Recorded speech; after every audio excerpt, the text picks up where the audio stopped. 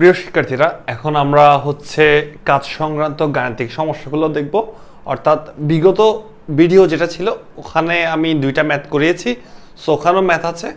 আর এখন হচ্ছে আমরা আরও কিছু ম্যাথ করব। চলে স্টার্ট করি। হ্যাঁ প্রথমে আমরা চলে যাই, দেখতেছি হচ্ছে একজন ব্যক্তি একটি বস্তুকে একশো নিউটন বল প্রয়োগ করে, ফলে বস্তুটির বলের দিকে দুই মিটার স্মরণ হলো। ব্যক্তিটির দ্বারা কৃত কাজ কত? তাহলে একটু দেখে আসি, কি বলছে? বলছে একজন ব্যক্তি একটি বস্তুকে তারা একজন ব্যক্তি একটি বস্তুকে মনে করা হচ্ছে, এদিক দিয়ে বল প্রয়োগ করছে, কত নিউটন? একশো নিউটন। তাহলে এফ বলছে হচ্ছে একশো নিউটন, ঠিক আছে?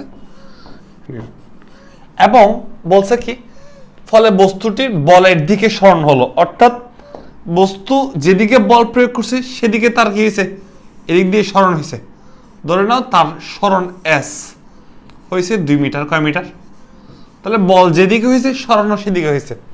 হ্যাঁ আর দুই মিটার। তাহলে আমি লিখতে পারি কি? এখানে এখানে এফ হচ্ছে কি? এফ হচ্ছে একশো নিউটন, আর হচ্ছে এস হচ্ছে দুই মিটার। এখন আমরা জানি কি? আমরা জানি বা we know W equal to কৃতকাজ আমাদের কৃতকাজ বের করতে বলছে কৃতকাজ W equal to F S cos theta দেখো, আমাদের এফ আছে এস আছে, কিন্তু থিটা নাই। থিটা নাই, কোনো চিন্তা নাই, কারণ হচ্ছে, দেখো থিটা নাই, কোনো চিন্তা নাই, কারণ দেখো তো, বলের অভিমুখে যদি স্মরণটা হয়, ঠিক আছে? বলের অভিমুখে, অর্থাৎ বল যেদিকে, সেদিকেও স্মরণ তার মানে যদি বল ওই দিকে স্মরণ একই দিকে, তাহলে দুইটা যখন একই দিকে হয় তখন তাদের মধ্যবর্তী থিটা কত হবে? জিরো ডিগ্রি তাই না? মধ্যবর্তী কোণ নাই তো জিরো ডিগ্রি তাহলে থিটা জিরো ডিগ্রি পেয়ে গেছি এফ তাহলে কত? আমাদের ডাব্লিউ বের করতে হবে। এফ হচ্ছে হান্ড্রেড এস হচ্ছে two cos zero degree cos zero মানে কত? কস জিরো মানে কস জিরো মানে হচ্ছে ওয়ান তার মানে টু হান্ড্রেড জুল এটাই হবে আমাদের আনসার অর্থাৎ ব্যক্তিটির দ্বারা কৃতকাজ হচ্ছে টু হান্ড্রেড জুল ক্লিয়ার আচ্ছা এটা আশা করি সবাই পারবা হ্যাঁ? আর হচ্ছে পরবর্তী ম্যাথটা আমরা দেখি, পরবর্তী আরেকটা ম্যাথ দেখি। কি বলছে দেখি? একটি কণার উপর এত বল প্রয়োগ করছে। বল প্রয়োগী কণাটির স্মরণ এত বিন্দু থেকে এত বিন্দু বলে দেওয়া হয়েছে, অর্থাৎ স্মরণটা বলছে। এই বিন্দু থেকে এই বিন্দু। এবং ওই বল দ্বারা কৃত কাজ কত বলতেছে? তাহলে এখানে তোমার কিন্তু দুইটা পয়েন্ট বলে দেওয়া আছে। আদি বিন্দু দেখো এটা আদি বিন্দু এটা হচ্ছে শেষ বিন্দু তাহলে আমরা একটু পয়েন্টগুলো একটু দেখে আসি। ধরে নাও, একটা পয়েন্ট হচ্ছে মনে করো এখানে। ধরে নাও, সেটা হচ্ছে এ এটা পয়েন্ট দিলে হচ্ছে ফাইভ থ্রি সিক্স ধরে নাও, এ থেকে কই গেল? এ থেকে মনে করো বিতে গেছে। এ থেকে বিতে গেছে। এখানে পয়েন্ট মনে করো ফোর জিরো টু ক্লিয়ার তাহলে দেখো তো ভাইয়া তাহলে একটা জিনিস খেয়াল করো, এই এ থেকে বি পর্যন্ত, এটা হচ্ছে বস্তু এখানে ছিল, এখান থেকে এখানে সরাইছে, এটা হচ্ছে স্মরণ, এটা হচ্ছে কি? স্মরণ। আমার কথাটা কি বুঝতে পারছ ভাইয়া? এটা হচ্ছে কি? স্মরণ। তাহলে স্যার একটু খেয়াল করেন, এটা যদি ভাইয়া স্মরণ হয়, তাহলে আমাদের স্মরণটা বের করতে হবে, যেহেতু স্মরণ একটা কি রাশি ভাইয়া? স্মরণ একটা হচ্ছে ব্যাক্টর রাশি। ব্যাক্টর রাশির জন্য আমরা ব্যাক্টর নিয়মেই এই স্মরণটা কতটুকু হচ্ছে সেটা বের করব। যেহেতু আমাদের দুইটা পয়েন্ট জানা আছে, সেহেতু আমি বলতে পারি, এই এর জন্য এর জন্য একটা পয়েন্ট চিন্তা করলে, এর অবস্থান ভেক্টরটা আমি চিন্তা করতে পারি কত? Five I plus three J plus six K এটা হচ্ছে এ এর জন্য অবস্থান ভেক্টর আর বি এর জন্য অবস্থান ভেক্টরটা যদি আমি চিন্তা করি, দেখতে পারি four I plus zero J plus two K ঠিক আছে? আচ্ছা টুকে এখন এটা আদি বিন্দু, এটা শেষ বিন্দু দেওয়া আছে। সো আমরা স্মরণটা বের করব কীভাবে? তোমাদেরকে বলছিলাম, স্মরণ বের করব। আমরা ভেক্টরের মধ্যে পড়েছিলাম স্মরণটা হবে কি? আদি বিন্দু বিয়োগ সরি শেষ বিন্দু বিয়োগ, আদি বিন্দু। এখানে শেষ বিন্দু ভেক্টর, বিন্দুর জন্য ভেক্টর, অবস্থান ভেক্টর কি বেশি এটা। অর্থাৎ four I plus zero J plus two K right আর আদি বিন্দু কোনটা? আদি বিন্দুর জন্য ভেক্টর অবস্থান ভেক্টর পাইছি এটা তাহলে বিয়োগ আদি বিন্দুটা five I plus three J plus six K এখন দেখো তো, বিয়োগ করো। ভেক্টরের বিয়োগ তোমরা জানো। দেখি, তোমাদের ছোটোবেলায় যেভাবে করছ। বা ছোটোবেলায় হচ্ছে, মনে করো ফাইভ এ থেকে সিক্স এ বিয়োগ করলে কেমন? আমি ধরুন আইকে এ চিন্তা করি এ আইটাকে এ চিন্তা করি। আবার জে কে বি চিন্তা করি, এই J K B, K K C, K, আর এখানে কে কে সি চিন্তা করি, এবার এভাবে চিন্তা করে বিয়োগ করতে পারো বা ভেক্টর বিয়োগ যারা জানো না তাদের জন্য, ঠিক আছে? আচ্ছা আমরা যারা ভেক্টর বিয়োগ জানি বলতো, চার আই মানে ফোর আই ফোর আই থেকে যদি ফাইভ আই যদি বিয়োগ করি, মনে করো চারটা থেকে পাঁচটা বিয়োগ করছি, তাহলে মাইনাস ওয়ান আই পাবো। ওয়ান আই ওয়ানটা লিখলাম না আর কি। জিরো জে থেকে থ্রি বিয়োগ করলে মাইনাস থ্রি জে পাবো। আর মাইনাস টু কে থেকে যদি প্লাস সিক্স কে যদি বিয়োগ করি, তাহলে হচ্ছে কি মাইনাস ফোর কে ঠিক আছে? ফোর কে পাচ্ছি। তাহলে এটাই হচ্ছে আমার স্মরণ এস ক্লিয়ার আচ্ছা। তার মানে আমি স্মরণ এস একটা ভেক্টর রাশি বের হয়ে গেল পাল আমি বের করতে পারছি স্মরণ। এখন আমাদের বলটা দেওয়া আছে একটা ভেক্টরে অর্থাৎ তার মানে আমি লিখতে পারি কি? এখানে এফ দেওয়া আছে কিসে? দেখো এফ বলা আছে এফ হচ্ছে দেওয়া আছে two I plus two J plus two K আর স্মরণ একটু আগে এ পয়েন্ট থেকে এ পয়েন্টে স্মরণ বের করছি, কত? এস ভেক্টর দাও। Minus I minus three J minus four K. আমি ভেক্টর বের করলাম, বলছে আমাদের কৃত কাজ বের করতে, অর্থাৎ ডাব্লিউ বের করতে বলছে। সো আমরা শিখছিলাম, অর্থাৎ কোন না দেওয়া থাকলে কীভাবে কৃত কাজ বের করতে হয়, আমরা জানি। কি জানি ভাইয়া বলো তো? আমরা জানি হচ্ছে W equal to F dot S এটা হচ্ছে ভেক্টরের সূত্রটা, ঠিক আছে? আমরা এফ এস কস্থিরা থেকে এফ ডট এস পাওয়া যায় ক্লিয়ার আর এফ মানে কি বলতো?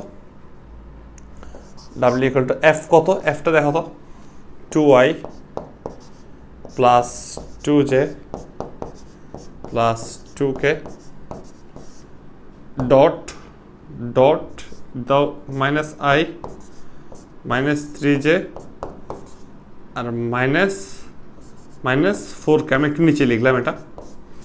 এবার কি হবে? ডট গুণন মানে কি বলতো? ডট গুণন মানে হচ্ছে সহগগুলো গুণ করব।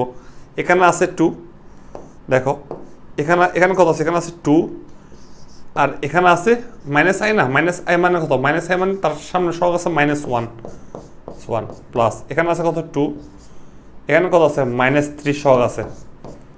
মাইনাস থ্রি যোগ। এখানে আছে কত? টু এর সাথে কত আছে? এখানে মাইনাস ফোর মাইনাস ফোর না? মাইনাস ফোর সহগ আছে। কে সহগ আই সহগের সাথে আই সহগ জে সহগের সাথে জে সহগ, কে সহগের সাথে কে এর সহগ। ঠিক আছে? Now minus two, minus six, minus eight. হ্যাঁ? দেখি দুই দুই ছয় আট। তাহলে কত পাচ্ছি? Minus sixteen. জুল। তাহলে মাইনাস সিক্সটিন জুল আসে। অর্থাৎ এটাই হচ্ছে আনসার। অর্থাৎ কৃত কাজ আসছে মাইনাস সিক্সটিন জুল। এটাই হচ্ছে কি? আনসার সো তোমরা দেখতে পাচ্ছ কিনা সেটা একটু চেক করি।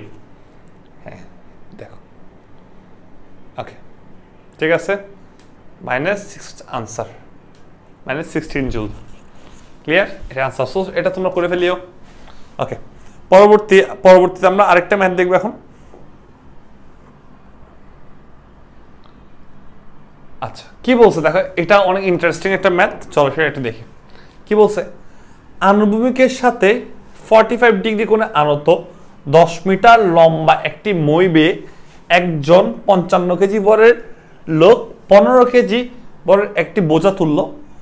লোকটি কতটুকু কাজ সম্পাদন করল? আমি ম্যাথটা পড়ছি, তোমরা একবার পড়ো ম্যাথটা। ঠিক আছে? পড়ার চেষ্টা করো। সো কি বলছে সেটা বোঝার চেষ্টা করো। খেয়াল করো, কি বলছে? আমি তোমাদের সাথে বলি, আনুভূমিকের সাথে ফর্টি ফাইভ ডিগ্রি কোণে আনত দশ মিটার একটি লম্বা মই বে একজন পঞ্চান্ন কেজি ভরের লোক, পঞ্চান্ন কেজি ভরের লোক, অর্থাৎ এম বলে দিছে। পনেরো কেজি ভরের, এখানে একটা এম বলছে তো এটা এম ওয়ান এটা এম টু পনেরো কেজি বরের একটি বোঝা তুলল লোকটি কতটুকু কাজ সম্পাদন করল? কি বলছে? আগে আমি একটু চিত্র দিয়ে বুঝি। ধরে নাও এটা একটা উচ্চ, উঁচু দালান। এই দালান বলছে কি আনুভূমিকের সাথে ফর্টি ফাইভ ডিগ্রি কোণে আনত একটি দশ মিটার লম্বা মই, ঠিক আছে? তাহলে আমি ধরে নাও একটা মই আঁকি আমি। মই মানে হচ্ছে সিঁড়ি হ্যাঁ? বলছে হচ্ছে কার সাথে? আনুভূমিকের সাথে। এটা হচ্ছে ভূমি। ঠিক আছে? ভূমি। এবং এটা হচ্ছে সিঁড়ি ছিল। এখানে ছিল ফর্টি ফাইভ ডিগ্রি কোণ। এটা হচ্ছে মইটা। এটা হচ্ছে মই। আমি লিখি দিই মই হ্যাঁ? ফর্টি ফাইভ কোণে আছে। একটা মানুষ বলছে এই মইটা বেয়ে উপরের দিকে উঠবে। তাহলে একজন, একটা মানুষ আঁকি আমি।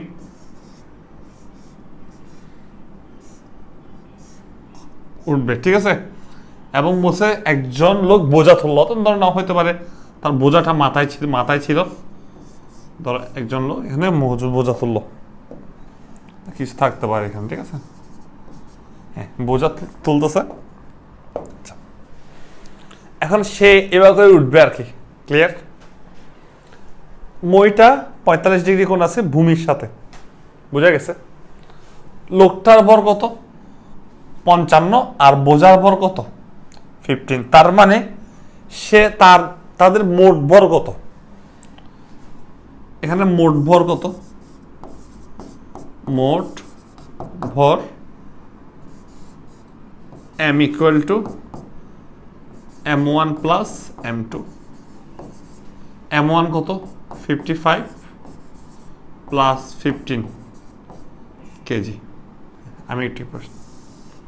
মোট বর, একটি ভাষা করে লিখি। মোট বর M equal to M one M two বুঝতে পারছ? আমি ডিরেক্ট লিখে দিলি ফিফটিন প্লাস ফিফটিন কেজি অর্থাৎ সেভেন্টি কেজি তার মানে লোকটা নিজের ভর সহ বোঝাটা নিয়ে টোটাল সেভেন্টি কেজি নিয়ে উপরের দিকে উঠতেছে।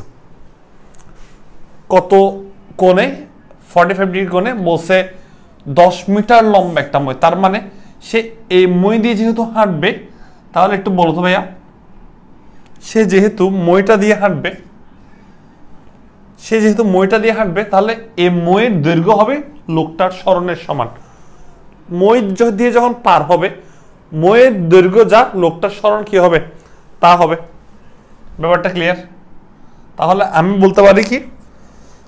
এই মইয়ের দৈর্ঘ্য, অর্থাৎ এখান থেকে নিয়ে শুরু করে এটা পর্যন্ত হচ্ছে কি? মইয়ের দৈর্ঘ্যটা হচ্ছে তার স্মরণ। মইয়ের দৈর্ঘ্য হচ্ছিল দশ মিটার। তাহলে মই বরাবর হাঁটলে তাহলে মইয়ের দৈর্ঘ্য হবে তার স্মরণটা। ক্লিয়ার আচ্ছা। এখন তুমি একটা জিনিস খেয়াল করো। আমি তো এটা বোঝালাম? এবার একটা জিনিস খেয়াল করো কি বলি? সেটা হচ্ছে আমাদের স্মরণ আমরা জানি কি?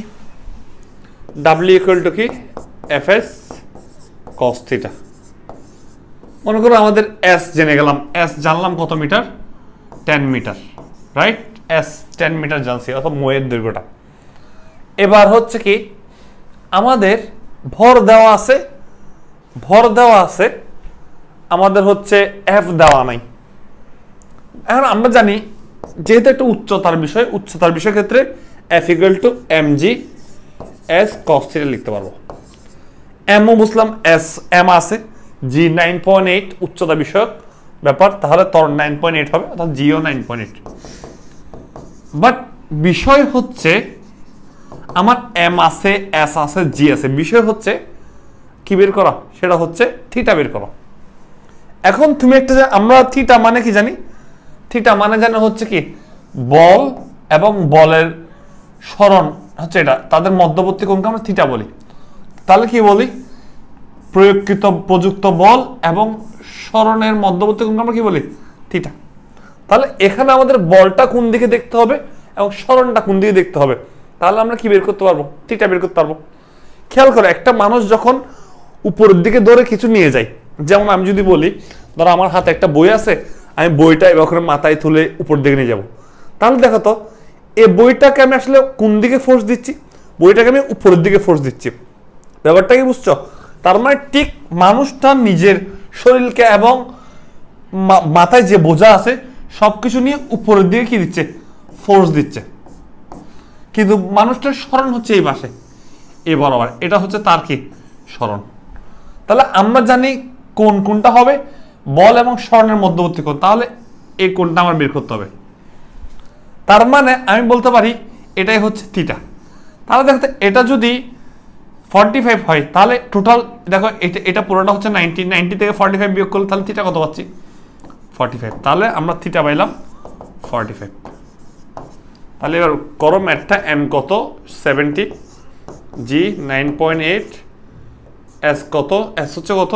টেন আর কস ফর্টি ফাইভ ক্যালকুলেশন করো কত হয়। ক্যালকুলেশন করো কত হয়, সেটা আমাকে জানাও। ক্যালকুলেট আমার হাতে হয়। দেখি হচ্ছে এফ কত?